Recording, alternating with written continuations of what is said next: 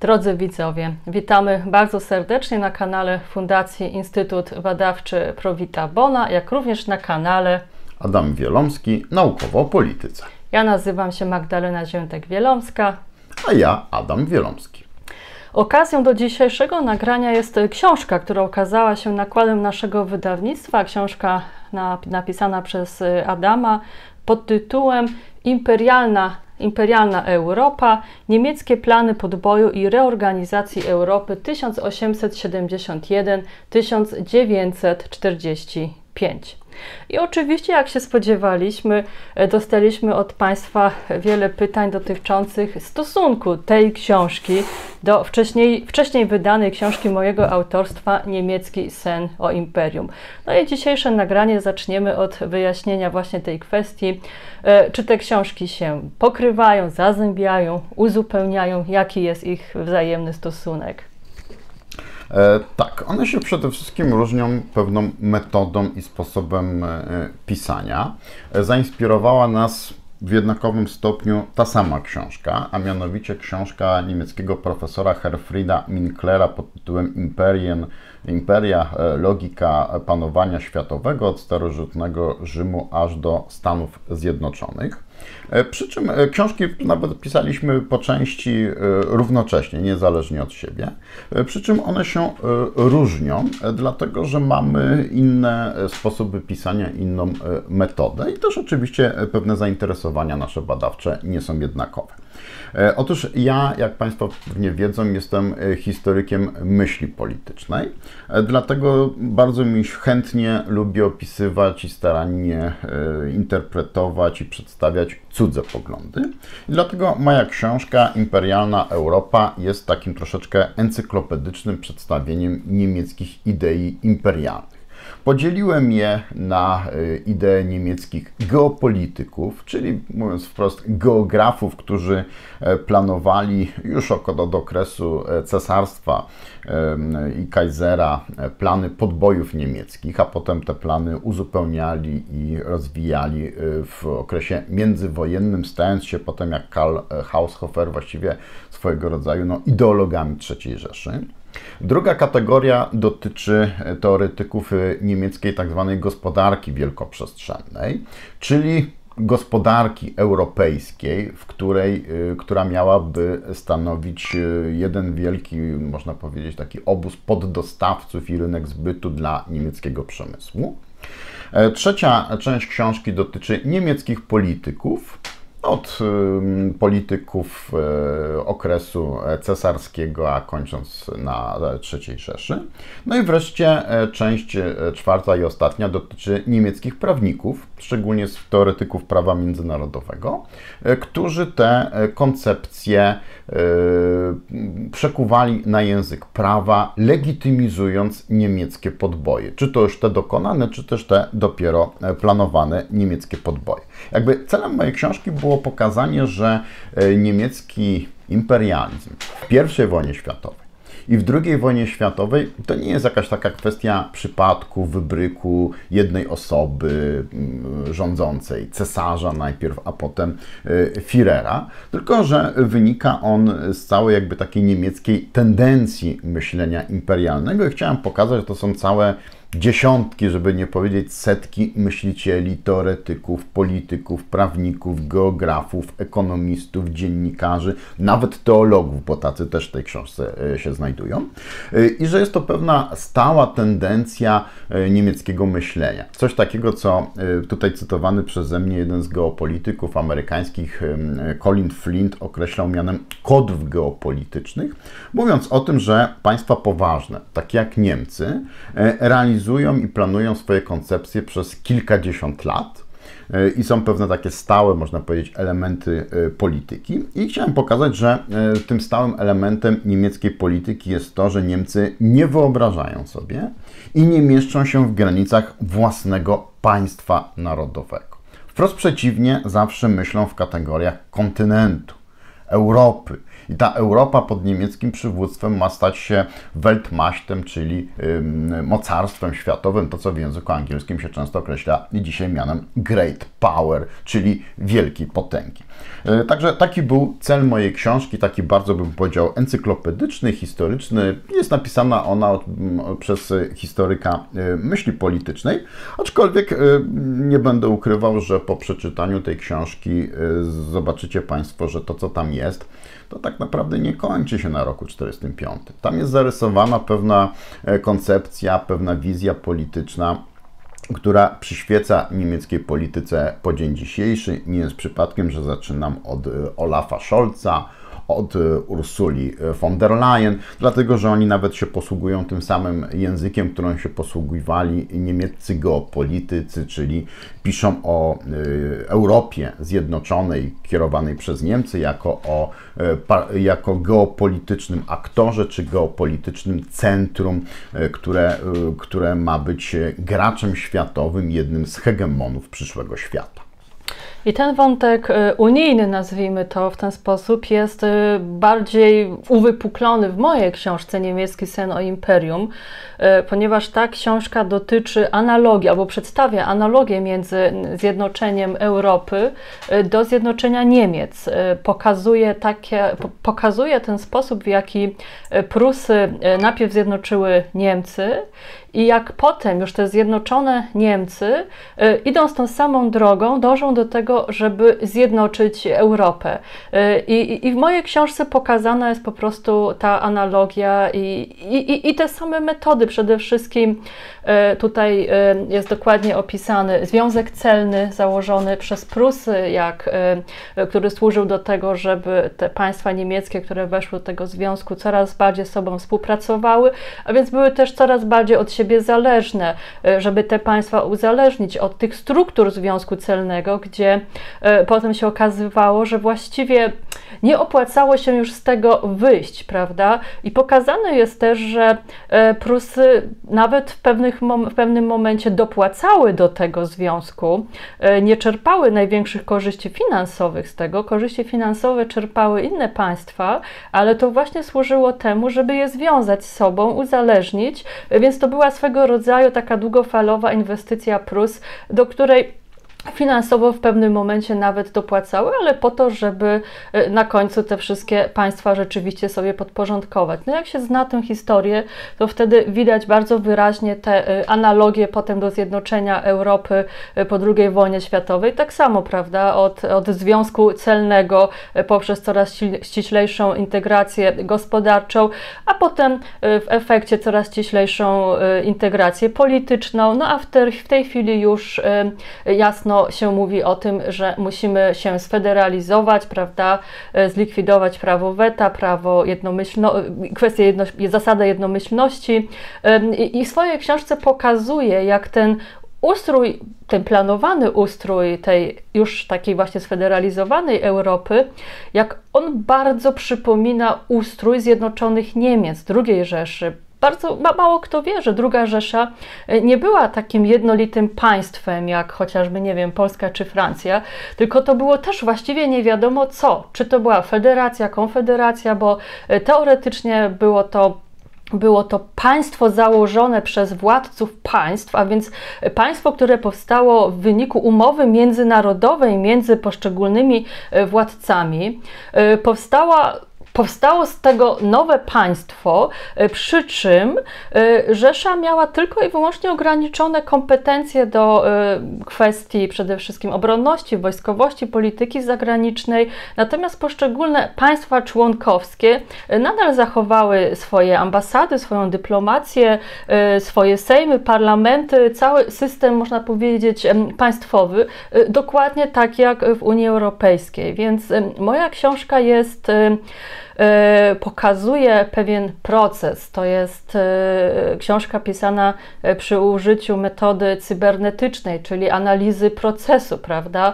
Każdy proces to jest cel, obiekt, metoda i pokazuje, że mamy tutaj do czynienia z kontynuacją pewnego procesu, kiedy najpierw Prusy E, przyłączały do siebie poprzez zagrabianie prawda, różnych e, ziem, e, czy to polskich, czy niemieckich, i pokazuje, jak to się coraz bardziej rozrasta. No, jak powstała już ta druga Rzesza, się okazało, że to ciągle za mało, za małe, i, i, i wtedy powstała idea, że teraz trzeba budować coś większego.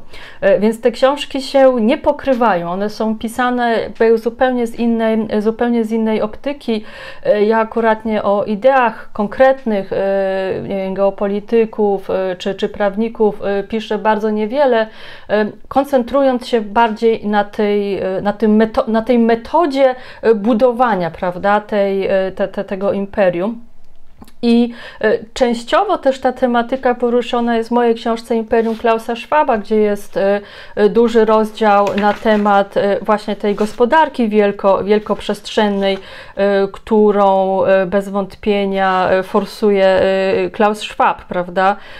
Tutaj mamy ca cały rozdział właśnie o tej, tej idei budowania zjednoczonej Europy, właśnie tej niemieckiej, poprzez integrację gospodarczą i, i pokazuje, jak Szwab jest w to, w to uwikłany. I, ale teraz tak, główną, głównym celem i, i przesłaniem wszystkich tych książek jest y, nasza polemika y, z narzuconym po II wojnie światowej schematem interpretacyjnym III Rzeszy, jak również wcześniejszej niemieckiej polityki, gdzie się próbuje wmówić Europejczykom, że przyczyną tego całego zła był nacjonalizm.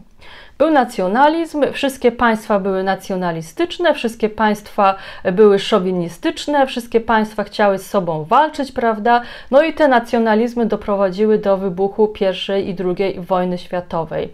My pokazujemy, że to nie jest prawda, to jest mit, to jest kłamstwo, takie kłamstwo założycielskie Unii Europejskiej, które musiało zostać narzucone Europejczykom do tego, żeby byli szantażowani. Yy, do tego, żeby porzucić swoje państwa narodowe, swoją suwerenność, bo zaczęto Europejczyków straszyć, jak tego nie zrobicie, to będzie kolejna wojna, prawda, bo nacjonalizmy. My pokazujemy, że przyczyną tej polityki niemieckiej było zupełnie coś innego. Tak, Niemcy nie myślą w kategoriach państwa narodowego i to, co my w naszych książkach e, chcemy przedstawić, i w różnych e, wariantach, w kolejnych książkach i w kolejnych zresztą naszych filmach e, staramy się Państwu powiedzieć, to jest pewna różnica pomiędzy polskim, francuskim, włoskim, hiszpańskim, angielskim, holenderskim, belgijskim, duńskim sposobem myślenia o organizacji Europy, a myśleniem niemieckim. Zresztą po części rosyjskim też, ale akurat my się specjalnie tą tematyką e, nie zajmujemy. E, otóż e, my sobie to wyobrażamy e, Europę podzieloną w ten sposób, że, no tak upraszczając, iż pomiędzy Bugiem a Odrą znajduje się Polska. Tutaj mieszkają Polacy i tutaj się rządzą i sprawują tutaj władzę suwerenną, są suwerennym narodem we własnym kraju. Następnie za Odrą, która jest rzeką graniczną, mamy Niemcy, terytorium, które się nazywa Niemcy i które, no, umownie i upraszczając, e, gdzieś tam sięga do Renu, gdzie będzie granica francuska. No to umownie, bo oczywiście ta granica francuska jest troszeczkę za Renem. E, ale e, wyobrażamy sobie, że tutaj są Niemcy, którzy terytorium Niemiec, tu mieszkają Niemcy i tutaj wykonują swoją narodową suwerenność. I na tym polega nacjonalizm niemiecki, że e, chcą rządzić się sami u siebie, tak jak my Polacy chcemy się rządzić sami u siebie. I następnie za Renem mamy, pomiędzy Renem a Pirenejami mamy Francję i tam jest terytorium Francja, e, rządzą nim Francuzi i sprawują suwerenność. No i oczywiście można to iść dalej, tam w kierunku, prawda, Hiszpanii od Pirenejów, gdzieś tam po, po Kadyks, z drugiej strony na południe, prawda, od Alp do Morza Śródziemnego, Włochy i tak dalej. Otóż ten e, sposób myślenia, dla nas jakby zupełnie oczywisty, a który się określa mianem państwa narodowego, e, jest sposobem myślenia, który dla Niemców jest e, całkowicie obcy i niezrozumiały. E, dlatego, że e, Niemcy uważają, że to tak, tutaj są Polacy, tu są Niemcy, tu są Francuzi, ale wspólnota polityczna to powinna być kontynentalna. To znaczy, musi być to wszystko razem. I te narody nie mają się same zarządzać, każde w swoich granicach, tylko musi być taka czapa w postaci tych, którzy najlepiej się znają na zarządzaniu, wojskowości, planowaniu i gospodarce, są najlepiej zorganizowani. Któż to taki jest? Są to Niemcy. I leżą w środku i leżą w środku jako potęga środka. Zgadza się. E, dlaczego tak jest? No to przede wszystkim wynika ze względów historycznych, dlatego że Niemcy w wieku XV-XVI nie stworzyły tej instytucji, którą tworzyły mm, pozostałe państwa europejskie, czyli tzw. Tak monarchii narodowej, która by zjednoczyła pod jednym berłem wszystkie mm, ludy e, o tej samej kulturze i języku. Niemcy w tym czasie myśleli w kategoriach świętego cesarstwa, Sacrum Imperium, czasami po polsku to nie jest nazwa oficjalna, ale tak się przyjęło, Święte Cesarstwo Rzymskie Narodu Niemieckiego. E, I Niemcy myślą w kategorii, kiedy Europa cała tworzyła te monarchie narodowe, które potem już w ustrojach republikańskich przekształciły się w państwa narodowe, to w tym czasie Niemcy spierali się o to, czy cesarz kieruje i włada całym światem, czy tylko światem chrześcijańskim. Tam nie było w ogóle idei państwa niemieckiego i granic niemieckich. E, kiedy król e, Kastylii, e, potem następnie król Francji i znany ze wszystkim Henryk VIII z Anglii kandydowali na tron cesarski, to w cesarstwie y, prawnicy rozpoczęli całą dyskusję, e, czy osoby te mogą kandydować na tron cesarski. Dlatego, że z jednej strony cesarstwo miało obejmować cały świat, a przynajmniej cały świat chrześcijański, czyli wszystkie te kraje, a z drugiej strony zawsze było tak, że cesarz był Niemcem. I ostatecznie dyskusja prawników e, skończyła się na takiej konstatacji, że Franciszek I, król e, Francji, czy Henryk VIII nie mogą kandydować na tron E, niemiecki, ponieważ nie są Niemcami, ale cesarz niemiecki, który jest Niemcem, rządzi wszystkimi tymi krajami. I to, co wtedy powstało, ta konstrukcja, można powiedzieć, ten sposób myślenia XVI-wieczny, potem się uzewnętrznia w całej niemieckiej historii. I on się uzewnętrznia również w tym okresie, który się zaczyna wraz z Bismarckiem. Bo tu się pojawia taki problem, że e, nam się wydaje, że tak się nas uczy, że Otto von Bismarck zjednoczył Niemcy. Problem polega na tym, że Niemcy sami tak tego nie widzieli, ponieważ to były tylko powiększone Prusy powiększono o Bawarię i południowe e, Niemcy. E, I poza tymi zjednoczonymi Niemcami znajdowała się Austria, niemieckojęzyczna. Znajdowało się 3 miliony Niemców e, w czeskich Sudetach, znajdowali się Niemcy w Szwajcarii, w Luksemburgu, w Alzacji, Lotaryngii, gdzieś tam, nie wiem, w Łodzi Niemcy mieszkali, w krajach nadbałtyckich wtedy stanowili elitę polityczno-społeczną tych państw. Dwa miliony ponad mieszkało nad Wołgą w Rosji, mieszkali w Rumunii, w Siedmiogrodzie, w Banacie, czyli na terytorium dzisiejszej Jugosławii. No i w takiej sytuacji, kiedy się pojawiła kwestia stworzenia niemieckiego państwa narodowego, które łączyło we wszystkich Niemców, no to niemieccy teoretycy doszli do wniosku, że tak właściwie to jest pół Europy. No jak już jak pół, no to zaraz pojawiła się wizja, no to właściwie ca prawie cała, bo nawet te części, które by miały nie wchodzić w skład Niemiec, z naturalnych powodów, już jako te małe państwa, byłyby Niemcom podporządkowane. I w ten sposób Niemcy nigdy nie stworzyli idei państwa narodowego, a paradoksalnie jedyny okres, kiedy wszyscy Niemcy byli tak jak chcieli zjednoczeni w jedno państwo, no to był okres e, III Rzeszy po Anschlussie Austrii, po yy, przyłączeniu Sudetów, prawda? I wtedy powstało pierwszy raz w historii niemieckie państwo narodowe, ale ono już było imperium. Imperium, które chciało obejmować cały kontynent. I to jest ten podstawowy jakby problem i dylemat y, niemieckiej polityki. Myślą w kategoriach Heimatu, tak zwanej małej ojczyzny, czyli na przykład to będzie nie wiem, Bawaria, Wirtembergia, Hesja, a potem się pojawia kontynent. Od razu pojawia się cała Europa. I ja odnoszę wrażenie, że Niemcy tego w ogóle nie dostrzegają, nie widzą. Ty mieszkałaś wiele lat w Niemczech, to może powiedz, jak Niemcy to widzą. Y, to jest generalnie stosun kwestia stosunku do granic, prawda? Y, w naszej percepcji granice to są granice między suwerennymi państwami y, i każdy u siebie może robić co chce. To taka jest łopatologicznie wyłożona esencja suwerenności. Niemcy patrzą na to zupełnie inaczej. Dla nich granice między państwami państwami, to są w gruncie rzeczy jakieś takie granice trochę administracyjne e, między różnymi etniami, grupami narodowymi, różnymi kulturami, e, ale na poziomie politycznym e, autentycznie dla nich Zjednoczona Europa to jest coś absolutnie oczywistego. Oni po prostu takimi kategoriami myślą, bo przez tysiąc lat tak funkcjonowali, prawda? Pamiętajmy, że pierwsze cesarstwo, pierwsza Rzesza istniała tysiąc lat. Ona została rozwiązana w 1806 roku.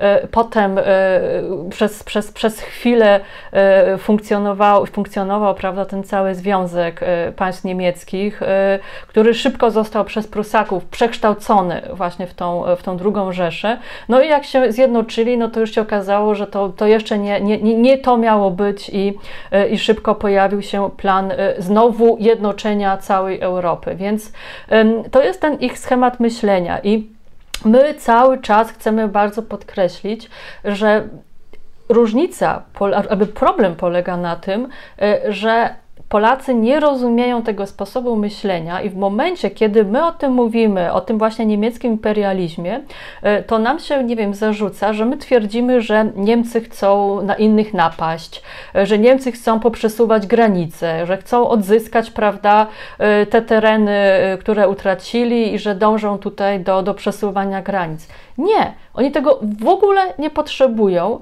dlatego że mają inny stosunek do tych granic. Oni dążą do tego i daleko w tym zaszli, żeby ponad granicami zbudować pewną instytucję organizacyjną, pewną, pewien poziom zarządu, pewien poziom władzy, który odgórnie ma wszystkimi sterować. I w związku z tym dla nich granice między państwami to są takie trochę granice między landami, między regionami, yy, takie granice, którymi też można zarządzać, prawda? Oni nie zamierzają tych granic likwidować, przesuwać, bo w ogóle nie potrzebują, bo dla nich najważniejsze to jest to, czy mogą realnie mieć dostęp do czyichś zasobów. To jest ten sposób myślenia. Nie chodzi o formalne uprawnienia, tylko czy mogą realnie zarządzać czyimiś zasobami, używać tych zasobów do własnych celów. I idea tej tej właśnie całej koncepcji wielkoprzestrzennej, imperialnej jest taka, że Europa musi się zjednoczyć, żeby rzucić takie pankontynentalne wyzwanie innym potęgom geopolitycznym, czyli Wielkiej Brytanii, Stanom Zjednoczonym, Chinom, Rosji. E, I idea jest taka, że w momencie, kiedy istnieje Europa podzielona na wiele suwerennych państw, na wiele suwerennych gospodarek, to dochodzi do dublowania się różnych gałęzi przemysłu. Z ich punktu widzenia to jest kompletnie bez sensu, żeby Polacy mieli swoje własne samochody, żeby Anglicy mieli swoje samochody, Niemcy, Francuzi, bo to jest marnowanie surowców i to jest przede wszystkim, jak oni to nazywają, wyniszczająca wewnętrzna konkurencja, która ma rzekomo wyniszczać Europę i sprawiać, że Europa nie jest w stanie e, konkurować z innymi potęgami. Więc idea jest taka: trzeba całą Europę potraktować jako jeden wielki zasób którym należy e, zarządzać w sposób racjonalny, e, czyli po prostu tworzyć wielkie koncerny, wielkie przedsiębiorstwa, jakieś wielkie kartele, które będą odgórnie decydować, jak wykorzystać określone y, zasoby, prawda, w sposób optymalny z punktu widzenia interesów tych gigantów. Czyli z tego punktu widzenia jest to oczywiste, że najlepiej, gdyby w Europie istniało tylko kilku producentów samochodów, oczywiście najlepiej, gdyby to były tylko niemieckie, prawda, ale to, to, to, to, to jeśli chodzi o Polskę, można było tutaj cały przemysł wygasić, no ale z Francją to już y, trochę trudniej, prawda, czy, czy, czy z Włochami.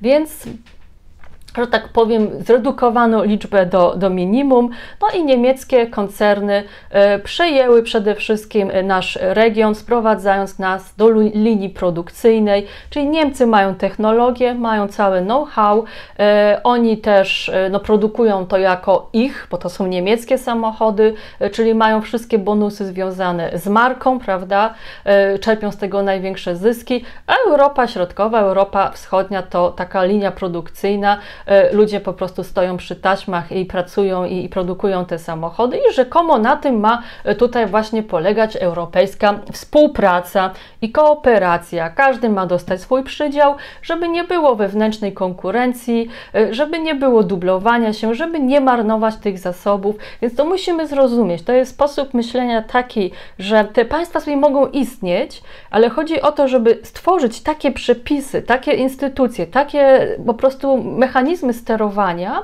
e, żeby ta góra mogła decydować e, o czym w jakim celu, jakie zasoby zostaną wykorzystane do tego, żeby e, budować tutaj właśnie tą imperialną potęgę. I ostatnio był, był, był taki nawet najświeższy przykład. Mówię teraz o tym, żeby pokazać Państwu, że to nie są kwestie historyczne, tylko chodzi nam właśnie o to, żebyśmy dobrze rozumieli to, co się dzieje na naszych oczach, prawda, i jak tak naprawdę funkcjonuje Unia Europejska.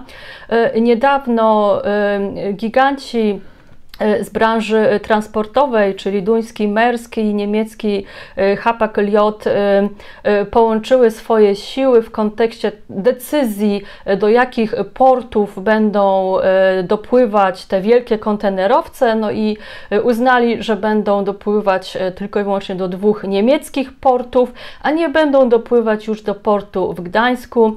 Port w Gdańsku będzie tylko i wyłącznie portem przeznaczonym taki, taki można tak powiedzieć, przeładunku już z mniejszych statków, czyli najpierw ten główny transport z Azji idzie do niemieckich portów, tam jest przeładowywany do mniejszych statków i te mniejsze statki będą dopływać do Gdańska. I że to właśnie ma tutaj e, zlikwidować tą bratobójczą wewnętrzną konkurencję, prawda, wyniszczającą Europę, czyli każdy ma dostać swój przydział i Niemcy będą jak zwykle oczywiście w tych planach mieli ten najlepszy udział, prawda, bo to najwięcej do nich, najlepsze do nich, e, a inni mają obsługi obsługiwać de facto, prawda, e, tutaj niemieckie firmy. I mówię o tym, żeby pokazać, że to się dzieje na naszych oczach i to jest plan, opracowany już mniej więcej 150 lat temu, bo to wtedy się zaczęło właśnie to planowanie Europy na nowo.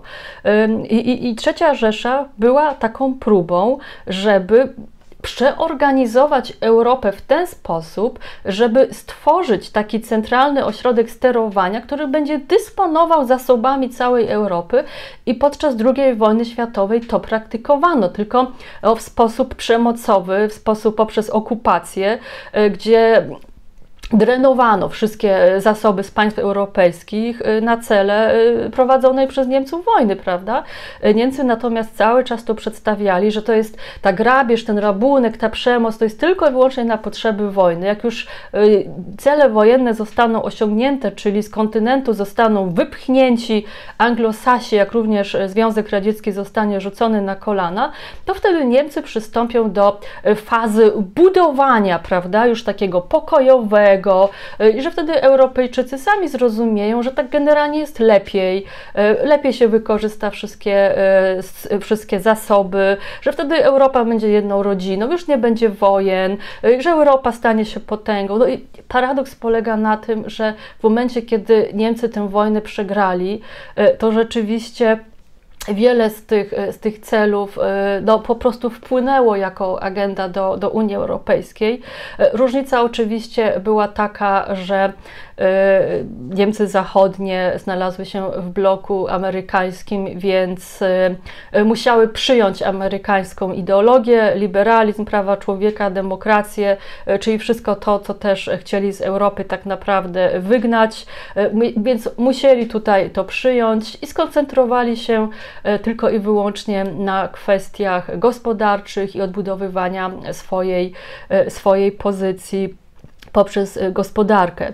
I tutaj jeszcze właśnie chcę wrócić do książki, o której wspomnieliśmy, Herfrida Münklera, Imperien. Y, ta książka pokazuje, bo jak właśnie ten niemiecki sposób myślenia, dlatego że jak się czyta tę książkę Münklera, widać, że on, on wprost mówi o tym, że jego zdaniem Europa powinna stać się imperium, że, że to jest najlepsze rozwiązanie dla Europy.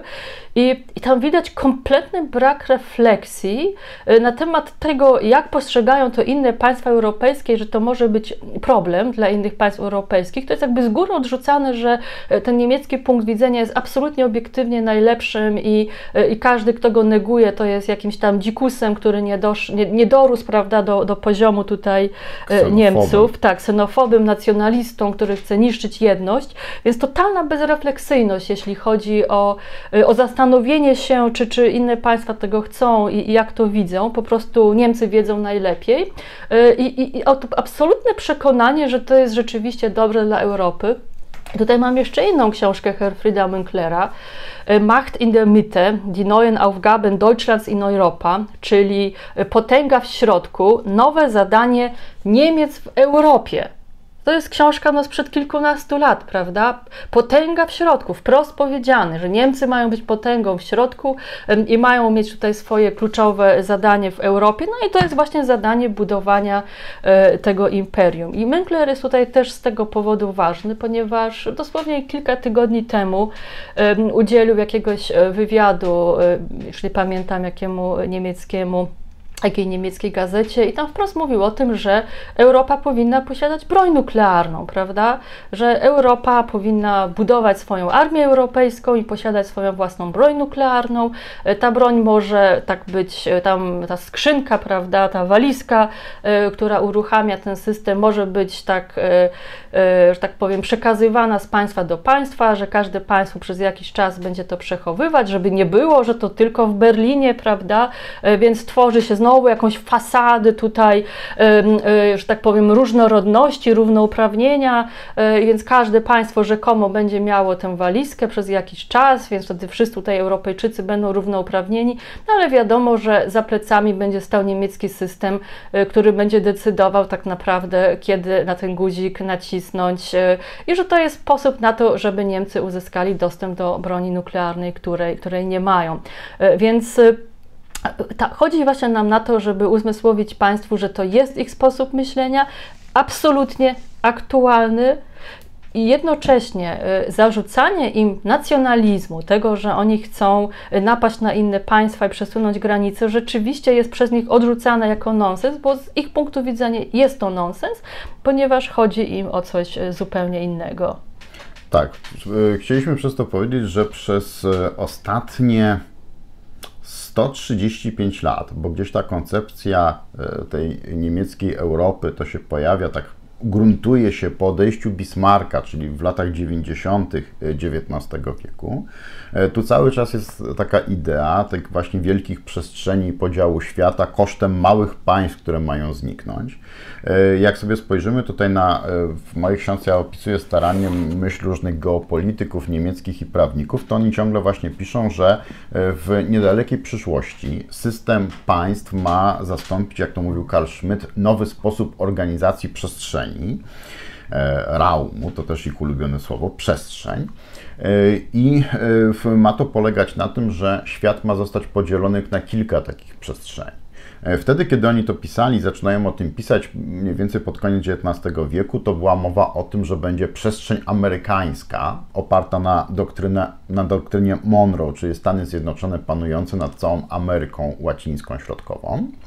E, potem miała być Wielka Brytania ze swoim imperium kolonialnym.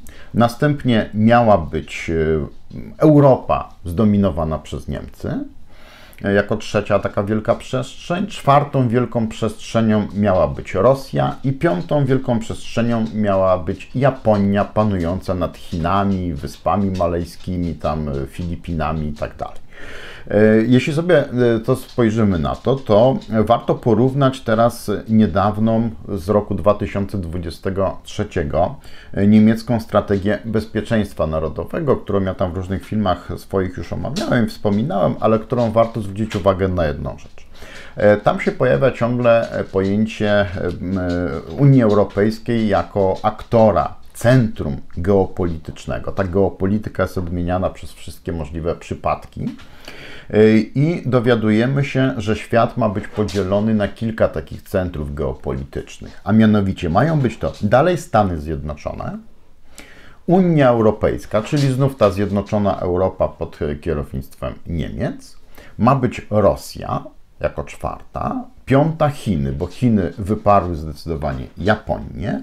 I co ciekawe, e, ten dokument przewiduje, że Wielka Brytania, której imperium e, kontynentalne dawno się rozpadło, zostanie prawdopodobnie zastąpiona jako piąta e, siła, to centrum geopolityczne przez Indię. Czyli zwróćcie Państwo uwagę, że po 135 latach cały czas pojawia się idea tych wielkich przestrzeni i końca państw narodowych.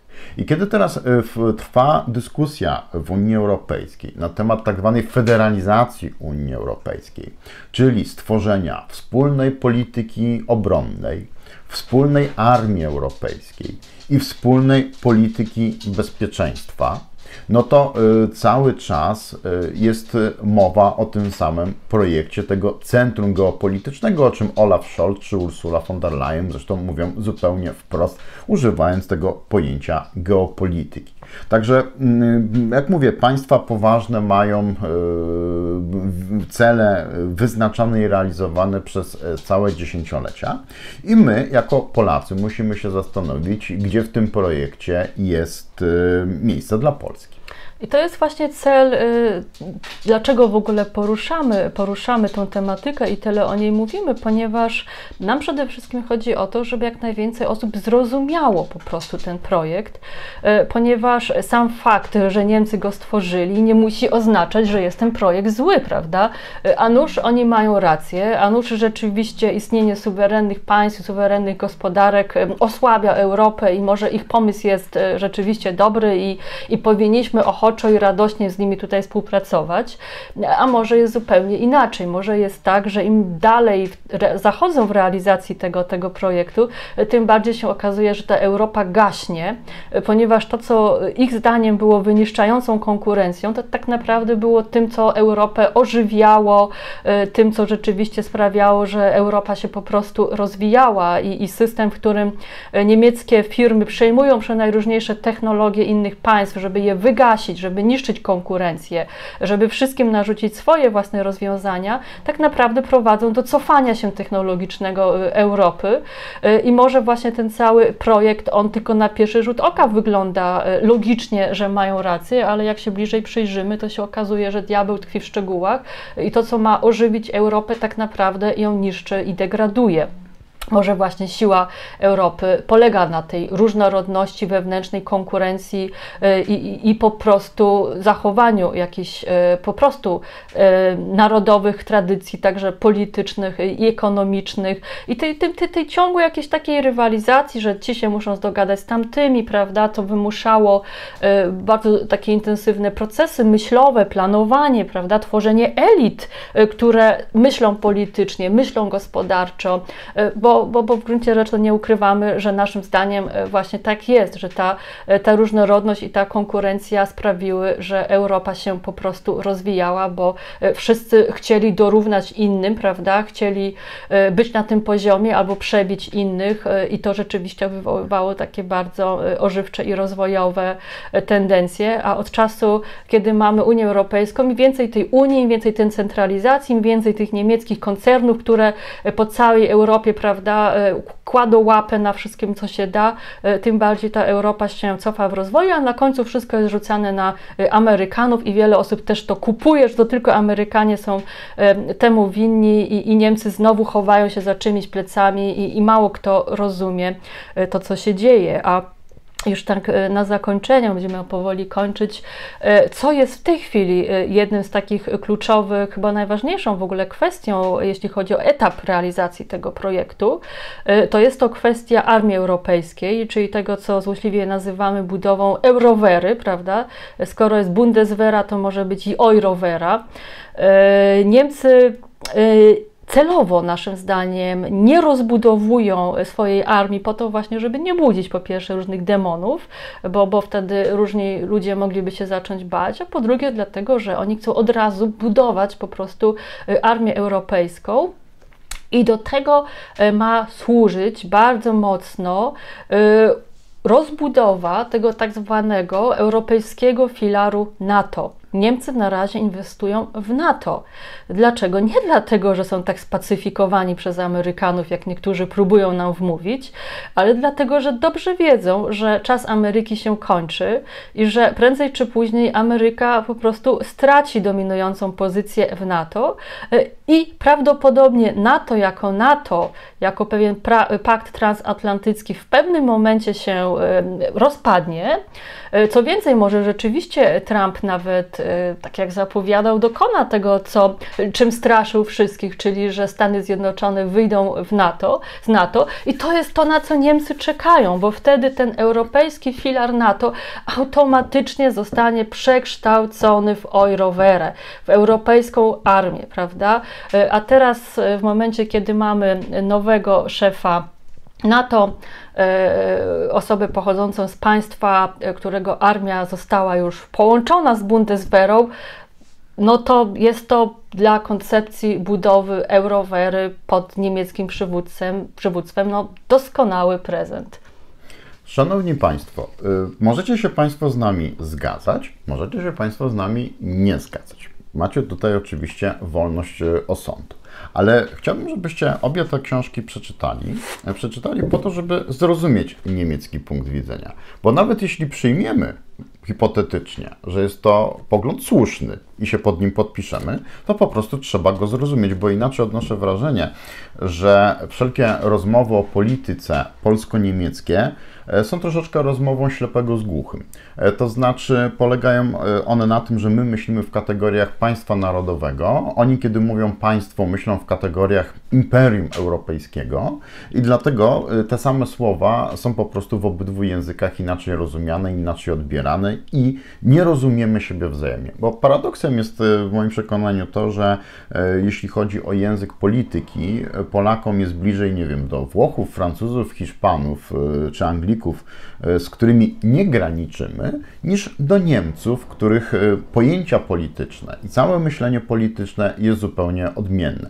Felix Koneczny określił to mianem bizantynizmu niemieckiego. My mamy duże wątpliwości, czy to rzeczywiście jest bizantynizm, bo akurat Bizancjum myślało bardzo w kategoriach granic, ostro, a, nie, nie właśnie w ten sposób, jak myślą Niemcy, ale e, pomijając ten spór e, o nazwę, to z pewnością Koneczny chciał po prostu wyrazić w jakiś sposób to, że rozumiał tą E, cywilizacyjno-językową, polityczną różnicę pomiędzy polszczyzną a niemczyzną. Także wszystkich Państwa zapraszamy do lektury naszych książek. Można je kupić oczywiście w naszym sklepie. Link do sklepu znajduje się w opisie tego filmu.